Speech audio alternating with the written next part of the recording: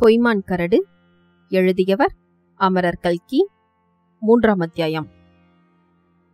செங்கோட கவுண்டன் சினிமாவை பற்றி தன் கொள்கையை வெளியிட்டதும் செம்பவளவல்லியின் முகம் சுருங்கிற்று. சற்று தலையை குனிந்து கொண்டு சும்மா இருந்தாள். பிறகு கவுண்டா ஊரிலே எல்லோரும் உன்னை பற்றி என்ன பேசுகிறார்கள் என்று உனக்கு தெரியுமா? என்று கேட்டாள். ஊரிலே இருக்கிறவர்கள் என்ன பேசிக்கொண்டால் எனக்கு என்ன? நான் எதற்காக அதையெல்லாம் காதில் போட்டுக்கொள்ள வேண்டும்? என்றான் செங்கோடன். அப்படி இல்லை கவுண்டா. நாலு பேர் பேசுவது உனக்கு கட்டாயம் தெரிந்திருக்க வேண்டும். அப்படியானால் நீதான் சொல்லேன். நாலு பேர் பேசுவது உனக்கு தெரியும் போலிருக்கிறதே. தெரியாமல் என்ன? ஊரெல்லாம் பேசிக்கொள்வது என் காதில் விழாமல் இருக்குமா?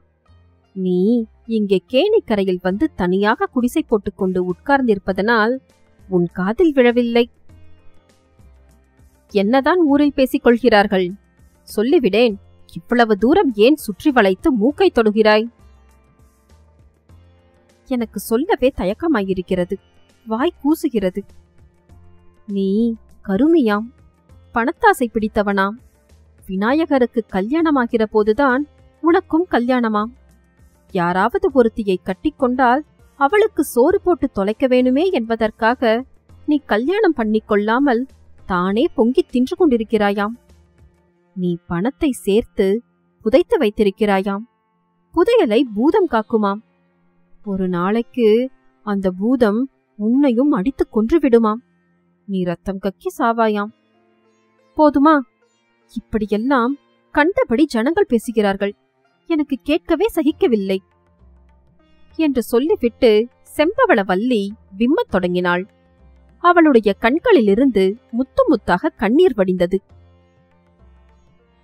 செச்ச ஊரிலே எந்த நாயாவது ஏதாவது குறைத்தால் அதற்காக நீ ஏன் அழ வேண்டும்? அழாதே செம்பா என்றான் செங்கோடன். செம்பாவின் கண்ணீர் செங்கோடனுடைய பணத்தாசை பிடித்த மனத்தை கூட கொஞ்சம் கரைத்து விட்டது அவளுடைய கண்ணீரை துடைக்கலாமா வேண்டாமா என்று தயங்கி தயங்கி கையை நீட்டினான். செம்பாவின் விம்மல் சிறிது குறைந்தது. கவுண்டா நாங்கள் பார்த்த சினிமாவில் மோகனாங்கி கண்ணீர் விட்டபோது மதனசுந்தரன் என்ன செய்தான் தெரியுமா? என்று சொல்லிக்கொண்டே செம்பா செங்கோடனுடைய கைகளை பிடித்து இழுத்து சினிமாவில் கதாநாயகன் செய்தது போல் செய்து காட்டினாள். சிச்சி அவர்களுக்கெல்லாம் வெக்கம் மானம் ஒன்றும் இராது போல் இருக்கிறது மிருக ஜென்மங்கள் போல் இருக்கிறது. ஆயிரம் பேர் பார்த்து கொண்டிருக்கையில் இப்படியா செய்வார்கள்? என்றான் செங்கோடன். நிஜமாக இல்லையே திரையிலேதானே என்றாள் செம்பா. திரையிலே என்றாலும் ஆயிரம் பேர் பார்க்கிறார்கள் இல்லையா? ஆயிரம் பேர் என்ன? லட்சம் பேர் பார்க்கிறார்கள். உன்னைத் தவிர எல்லாரும் சினிமா பார்க்கிறார்கள். அது கிடக்கட்டும். தள்ளு. கவுண்டா ஊரார் பேசுகிறதெல்லாம் பொய்தானே? உன் பேரிலே பொறாமையினால் தானே அவர்கள் அப்படியெல்லாம் பேசுகிறார்கள்? எதை பற்றி சொல்கிறாய்? பொண்டாட்டிக்கு சோறு போட பயந்து கொண்டு நீ கல்யாணம் பண்ணிக்கொள்ளாமல் இருக்கிறாய் என்கிறார்களே அதுதான்.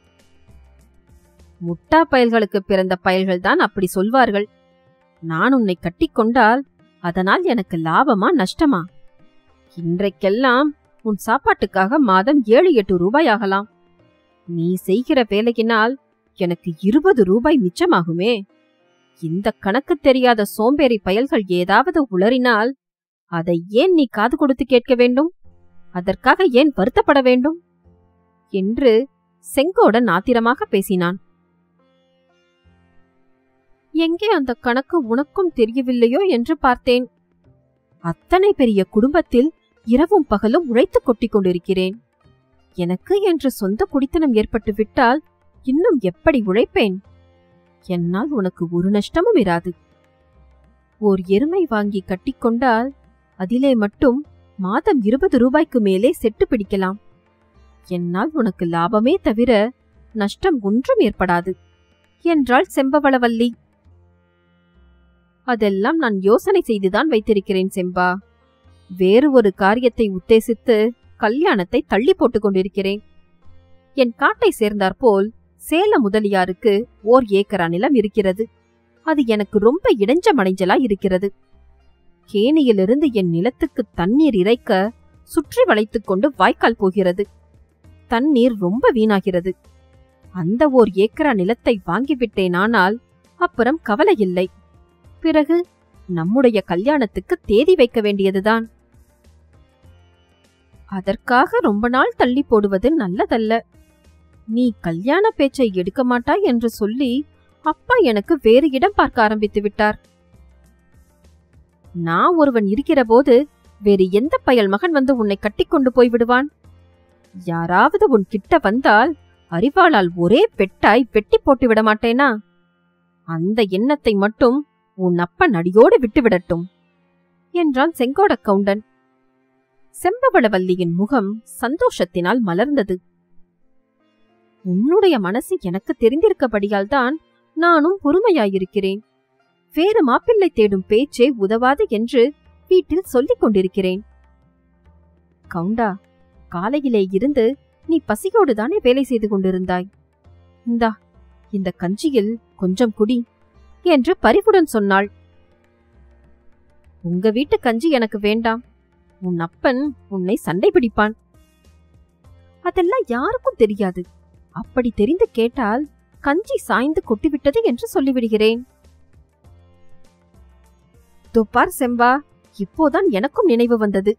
நம்ம தென்னையிலிருந்து ஒரு இளநீர் பிடுங்கிக் கொண்டு வந்து உனக்கு வெட்டித் தருகிறேன். என்று செங்கோடன் கையில் அரிவாளுடன் எழுந்தான். நன்றாயிருக்கிறது. யாராவது இளநீரை பிடுங்குவார்களா? இளநீர் முற்றி தேங்காயானால் சந்தையில் ஆறு அணாவுக்கு விலை போகுமே? என்றாள் செம்பா. ஆறு அணாவை தள்ளு குப்பையில் நமக்காக பணமா? பணத்துக்காக நாமா? என்று சொல்லிக் கொண்டு செங்கோடன் சென்று கையெட்டுகிற தூரத்தில் காய்த்து தொங்கிய இளந்தென்னையிலிருந்து ஓர் இளநீர் அறுத்து கொண்டு வந்து காதலிக்கு கொடுத்தான். அதை அவன் தனக்காக செய்த ஒரு மகத்தான தியாகம் என்றே செம்பவளம் கருதி இருமாந்து மகிழ்ந்தாள். மீண்டும் அடுத்த அத்தியாயத்தில் சந்திப்போம்.